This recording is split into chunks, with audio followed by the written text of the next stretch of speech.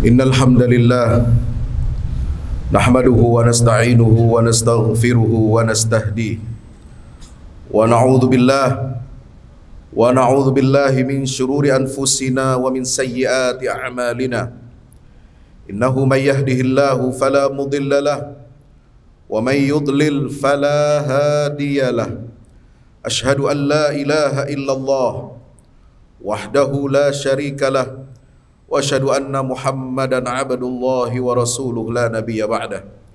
اللهم صل وسلم وبارك عليه وعلى آله وأصحابه ومن تبعهم بإحسان إلى يوم القيامة.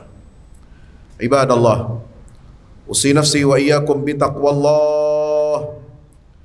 اتقوا الله. اتقوا الله حق تقاته ولا تموتن إلا وأنتم مسلمون. Hadirin ma'asyiral muslimin Ya insya Allah mudah-mudahan kita semuanya senantiasa diberkahi dan dirahmati oleh Allah subhanahu wa ta'ala.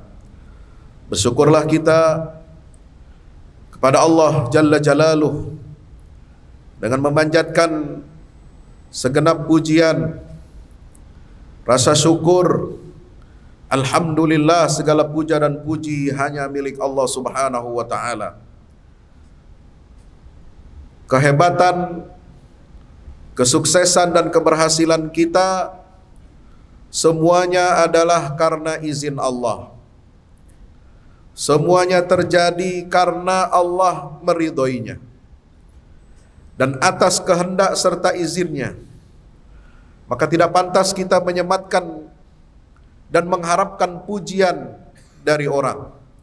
Karena segala sesuatu yang kita miliki, raihan yang kita capai, prestasi yang kita torehkan itu semua adalah karena kehendak dan izin Allah Subhanahu wa taala. Dan semua nikmat, semua capaian, semua raihan prestasi kita itu akan dipertanggungjawabkan di hadapan Allah Jalla Jalaluhu Subhanahu wa taala. Berselawat salam marilah kita sampaikan kepada junjungan kita baginda Rasulullah Muhammad sallallahu alaihi wasallam beserta seluruh keluarga, para sahabatnya dan mudah-mudahan tercurah limpahkan untuk kita semua pengikutnya hingga yaumil kiamah. Hadirin ma'asyiral muslimin rahmati Allah. Mari kita di waktu-waktu yang sangat istimewa ini di waktu yang mustajabah di saat kita diperintahkan oleh Allah Subhanahu wa taala untuk bersimpuh mendengarkan wasiat takwa kepada Allah. Mari kita kuatkan hati kita, tekad kita untuk senantiasa mematuhi semua perintah-perintah Allah dan menjauhi larangan-larangan Allah. Karena pada ketakwaan kita kepada Allah Subhanahu wa taala itulah sumber kebahagiaan kita di dunia dan di akhirat. Di dalam Al-Quranul Karim, Allah banyak sekali mengingatkan kepada kita, memberikan rambu-rambu bagaimana kita seharusnya memetik dan meraih kebahagiaan itu. Setiap manusia hidup di dunia ini tentu ingin mendapatkan hidup yang bahagia. Karena manusia berbeda dengan makhluk-makhluk yang lainnya. Makhluk yang lain tidak dibekali dengan rasa, dengan perasaan.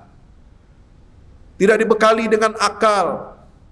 Tidak dibekali dengan wahyu dari Allah Subhanahu wa taala.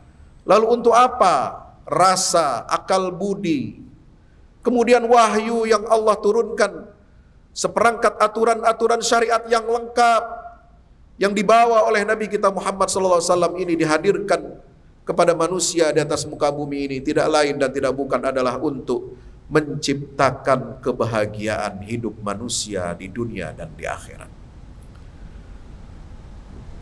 Maka berkaca dari hal ini, mari kita renungi firman Allah Subhanahu wa taala di dalam surah Al-Baqarah ayat 112.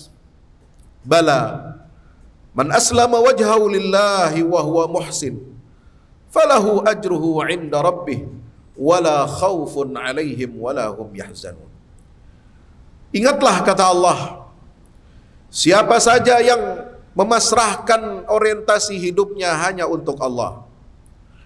Senantiasa mengarahkan orientasi hidupnya hanya untuk Allah.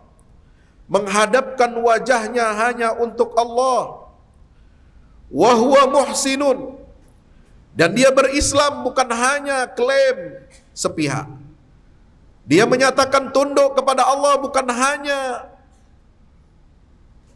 apa yang disampaikan oleh lisan dan bibir kita tetapi dibuktikan wahwa muhsinun dan dia senantiasa berbuat ihsan berbuat kebajikan-kebajikan untuk mewujudkan nilai-nilai keimanan itu hidup dan tumbuh subur di atas muka bumi ini maka apa kata Allah falahu ajruhu inda rabbi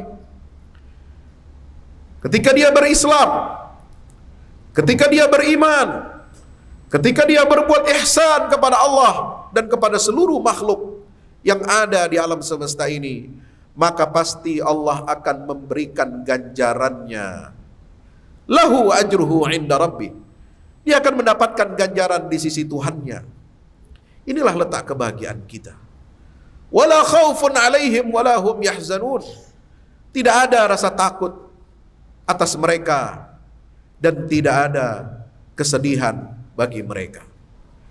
Kata la khaufun alaihim walahum yahzanun atau kalimat ini adalah kalimat kunci di dalam Al-Quran yang diulang di dalam 13 ayat kurang lebih di dalam Al-Quranul Karim. Untuk menunjukkan apa? Bahwa kebahagiaan itu adalah sesuatu yang dapat mengantarkan kita untuk tidak memiliki apa? Rasa sedih terhadap masa lalu kita dan tidak ada kekhawatiran terhadap masa depan kita. Dua hal inilah yang kemudian senantiasa diulang di dalam Al-Qur'anul Karim untuk menggambarkan karakter pribadi-pribadi siapa mereka yang beriman kepada Allah man amana billahi wal yaumil akhir. Yang kedua mereka yang memiliki karakter wa amila salihan senantiasa beramal saleh melakukan kebajikan-kebajikan, menebarkan manfaat-manfaat untuk sesama makhluk Allah Subhanahu wa taala apalagi terhadap sesama manusia dan kepada saudara-saudaranya kaum muslimin. Yang ketiga untuk siapa? Untuk mereka yang bertakwa, famanittaqa wa aslaha fala khaufun alaihim wala yahzanun. Mereka yang bertakwa kepada Allah Subhanahu wa taala untuk siapa lagi la khaufun alaihim wa lahum yahzanun? Untuk mereka man amana wa aslaha, mereka yang beriman dan mereka senantiasa menghadirkan kebaikan, islah, berupaya untuk memperbaiki dirinya, memperbaiki keluarganya, memperbaiki lingkungan kehidupan sosialnya, bahkan memperbaiki kehidupan alam semesta ini yang sudah banyak kerusakan-kerusakan di atas muka bumi ini seperti yang kita lihat, kita saksikan. Kalau melihat dari bawah, kita tidak begitu bisa melihat, menyaksikan betapa rusaknya kualitas udara kita. Tapi kalau di lantai 27 di masjid ini, kita bisa menyaksikan di hadapan saudara. Di depan saudara, di kiri kanan saudara, di belakang saudara, betapa udara kita ini begitu menyakitkan dan sudah banyak menimbulkan korban yang terkena penyakit. Maka kalau kita ingin mendapatkan kebahagiaan itu, saudara yang dirahmati Allah Subhanahu wa taala, maka kita harus bagaimana? Kita harus mengimplementasikan dan menjabarkan firman Allah Subhanahu wa taala di surah An-Nahl ayat 97. A'udzu billahi minasyaitonir rajim. Man 'amila salihan min dzakarin aw untha wa huwa mu'minun falanuhyiyannahu hayatan thayyibah wa lanajziyannahum ajrahum bi ahsani ma kanu ya'malun. Allah taala menegaskan siapa saja yang mengerjakan kebajikan apakah dia laki-laki maupun perempuan dan sedangkan dia adalah seorang mukmin maka kami kata Allah pasti akan berikan kepadanya kehidupan yang baik kehidupan yang sentosa kehidupan yang sejahtera kehidupan yang senantiasa berjalan dengan baik baik ekonominya baik dalam urusan sosialnya baik dalam kehidupan politiknya baik dalam kehidupan budayanya tidak akan ada yang namanya polusi-polusi udara. Tidak ada yang namanya polusi budaya. Tidak ada yang namanya polusi dalam ekonomi dan politik. Karena banyak sekali polusi-polusi yang merusak kehidupan kita. Dalam kehidupan kita manusia ini di, atas muka bumi ini. Maka syarat kita untuk memperbaiki kehidupan kita. Kalau kita ingin mendapatkan kehidupan yang baik. Kehidupan yang diberkahi Allah subhanahu wa ta'ala adalah Mari kita wujudkan iman dan amal saleh itu dalam perilaku kehidupan kita sehari-hari. Di dunia kita akan mendapatkan kebajikan dari Allah Subhanahu wa taala. Dengan apa? Dengan proses yang tidak ada hentinya untuk kita meraih kebahagiaan yang hakiki. Ketika udara kita baik, ketika alam kita baik, ketika tidak ada bencana alam di mana dicatat bahwa bencana alam beberapa tahun terakhir ini kurang lebih 93 persen itu disebabkan oleh adanya perubahan iklim global maupun regional. Ini perubahan iklim. Apa yang menyebabkan perubahan iklim? Karena ulah tangan kita sendiri. Zaharul fasadu fil barri wal bahri bima kasabat aydin nas liyudhiqahum ba'dalladhi amilu la'allahum yarji'un. Banjir, gagal panen, pemanasan global, polusi udara, kehidupan manusia yang serba permisif, yang hedonistik, yang konsumeristik, senantiasa melakukan dan memproduksi apa saja untuk memuaskan keinginannya, syahwatnya inilah yang menyebabkan kehidupan kita ini tidak akan baik sebagaimana yang digambarkan oleh Allah Subhanahu wa taala di dalam Al-Qur'anul Karim. Makanya Nabi wasallam memberikan contoh panduan kepada kita. Bagaimana kita bisa menjadi orang yang bahagia di dunia dan di akhirat. Itu diungkapkan dalam doa Rasulullah sallallahu alaihi wasallam yang begitu indah. Yang kadang-kadang kita tidak mengerti, tidak memahami bahwasanya doa ini adalah doa untuk kita menjadi orang yang bahagia. Apa doa Nabi sallallahu alaihi wasallam dalam hadis riwayat Imam Bukhari nomor 6369 bahwasanya Rasulullah sallallahu alaihi wasallam sering berdoa dan doa itu adalah visi Doa itu yang menggerakkan perilaku. Doa itu yang mendorong kita untuk berbuat sesuatu. Bukan berarti doa lalu kemudian kita lepas tangan setelah itu, tidak melakukan apa-apa.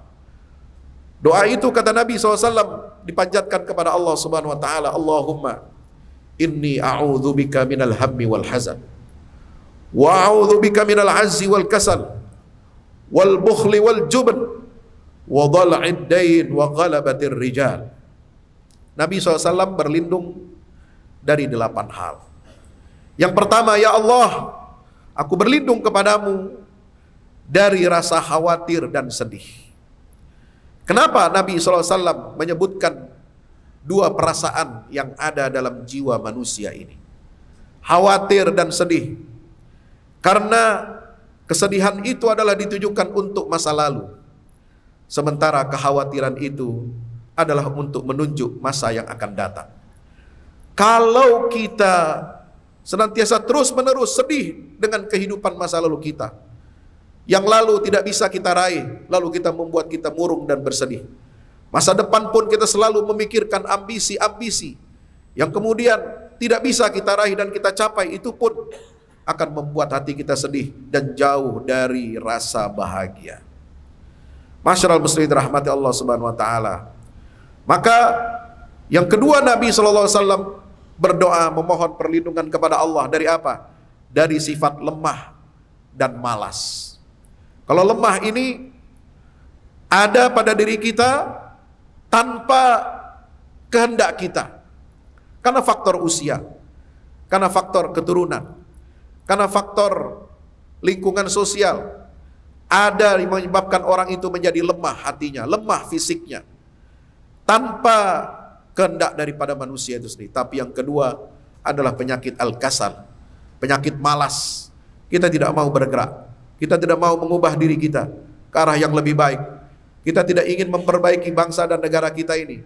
Kita hanya tunjuk-tunjuk tangan saja kepada orang lain bahwa mereka bertanggung jawab atas kerusakan-kerusakan yang ada di sekitar kita, tapi kita tidak mau turun tangan untuk menyelesaikan masalah itu. Tangan jangan hanya ditunjuk-tunjuk kepada orang lain, tapi kita sebagai hamba Allah yang bertanggung jawab, hamba Allah yang senantiasa mendapatkan tugas dan kewajiban untuk menghadirkan islah di atas muka bumi ini. La tufsidu fil ardi ba'da islahiha. Maka kita harus bahu membahu untuk turun tangan menyelesaikan masalah demi masalah yang kita hadapi. Yang ketiga, dari rangkaian doa itu Nabi Wasallam berpesan kepada kita dia minta perlindungan dari Allah Subhanahu wa taala dari sifat pengecut dan kikir. Kenapa? Pengecut ini karena manusia memiliki rasa khawatir terhadap kehidupannya. Khawatir tentang usianya, makanya banyak yang jadi pengecut karena takut mati. Yang kedua Nabi SAW berlindung dari sifat kikir. Kenapa? Karena banyak manusia yang khawatir hartanya berkurang. Khawatir hartanya hilang. Sehingga kemudian dia kikir. Maka dua sifat ini, pengecut, takut terhadap kematian, dan kikir, takut hartanya berkurang inilah kemudian Nabi SAW berdoa kepada Allah Subhanahu Wa Taala agar kita dihindarkan dan dijauhkan. Kenapa? Karena sifat memberi lawan daripada kikir atau bakhil dan keberanian menghadapi tantangan-tantangan hidup memberi dan berani menghadapi tantangan hidup ini dengan sebaik-baiknya itulah yang akan menciptakan atau menjadikan kita sebagai orang yang bahagia. Yang keempat Nabi SAW berdoa kepada Allah agar dilindungi dari apa? dari dhala'id dain atau ghalabatid dain wa qahrir rijal dari lilitan hutang dan dari orang-orang yang diktator atau yang sering berbuat zalim. Kenapa? Ma'asyiral rahmati Allah. Karena ini menunjukkan ada dua karakter di dalam di tengah-tengah masyarakat manusia. Masyarakat kita, masyarakat global kita, adanya lilitan hutang, yang tidak ada hentinya. Kita ingin memuaskan nafsu kita, syahwat kita untuk memenuhi keinginan-keinginan kita. Padahal keinginan itu bukan sesuatu yang primer, bukan suatu yang pokok, suatu yang mendasar. Tapi kita ingin ini, ingin itu, ingin ini, ingin itu untuk memuaskan nafsu kita. Maka kita sering terlilit hutang. Maka Nabi SAW meminta kepada Allah Subhanahu Wa Taala agar dirinya dan umatnya dijauhi dari lilitan hutang. Karena lilitan hutang itu adalah simbol dari konsumerisme dan hedonisme yang ada di tengah-tengah masyarakat kita. Dan yang terakhir Nabi SAW berdoa kepada Allah, wa qahrir rijal, wa qalabatir rijal, meminta perlindungan kepada Allah Subhanahu wa taala dari pemimpin-pemimpin yang berbuat zalim. Kalau ada pemimpin yang zalim, hidup kita tidak akan bahagia. Sehebat apa pun kita.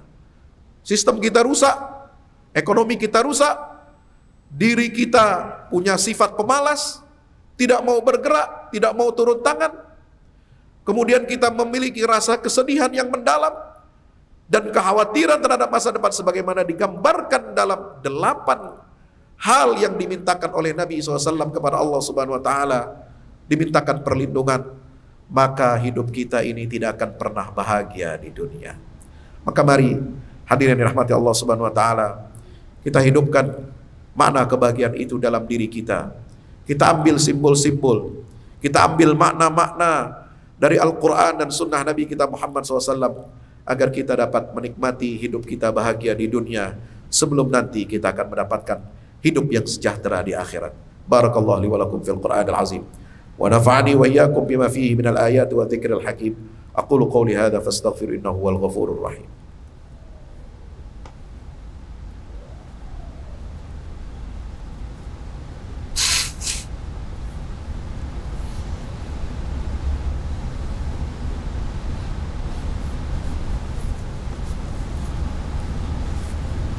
الحمد لله وحده. صدق وعده ونصر عبده وعز جنده وهزم الأحزاب وحده. أشهد أن لا إله إلا الله وحده لا شريك له وأشهد أن محمدا عبده ورسوله لا نبي بعده. اللهم صل على محمد وعلى آله وأصحابه ومن تبعهم بإحسان إلى يوم القيامة. عباد الله اتقوا الله اتقوا الله حق تقاته ولا تموتن إلا وأنتم مسلمون. اعلموا أن الله أمركم بأمر بدا فيه بنفسه وثنى بملائكة المسبحة بقدسه وثلث بكم. فقال تعالى مخبرا وآمرا إن الله وملائكته يصلون على النبي.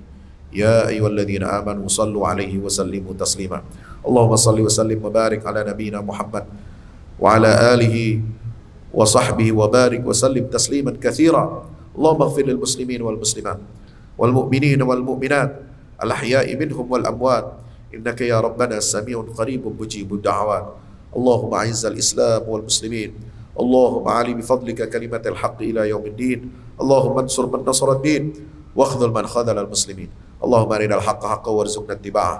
وأرنا الباطل باطلا وارزقنا اجتنابه.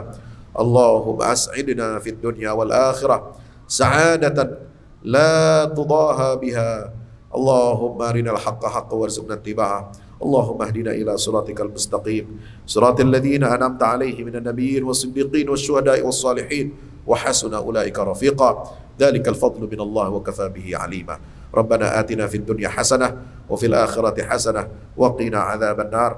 وصلى الله على عبدك ورسولك محمد وعلى آله وصحبه وسلم. والحمد لله رب العالمين. وأقم الصلاة.